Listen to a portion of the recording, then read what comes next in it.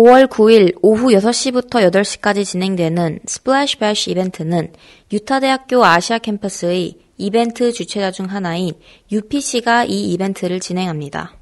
장소는 인천 글로벌 캠퍼스 축구장으로 이번 학기 사상 최대 규모 이벤트로 진행되며 이벤트의 메인이 될 물총과 비눗방울이 제공되고 간식으로는 솜사탕과 아이스크림 그리고 슬러시가 제공되며 페이스 페인팅 부스와 피크닉을 즐길 수 있는 공간도 마련될 예정입니다.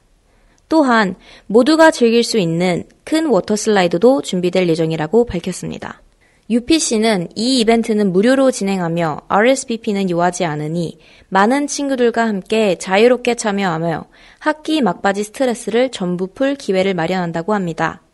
IBS 변재니입니다.